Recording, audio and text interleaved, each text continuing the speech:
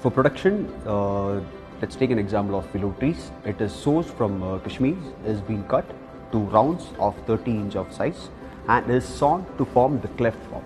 And the cleft is again is moved to the uh, finished good suppliers. In production as the initial step, we grade the wood and after grading, we do a V-cut over the cleft so that the handles, which is the lamination of cane and rubber, is being fixed into it. The next step is the shaping of the bat to get the final shape of the bat as per the requirement. After shaping, it is a final process of finishing the bat, which is sanding and polishing process. Then threading and stickering is done to finish the bat making process. We have 100% quality check introduced in the in our production. Uh, like in incoming quality check, we do a grading in the cleft. Also, we have a final checkpoint to ensure each and every bat is as per the specifications, which ensures that each and every bat we make is best in the world.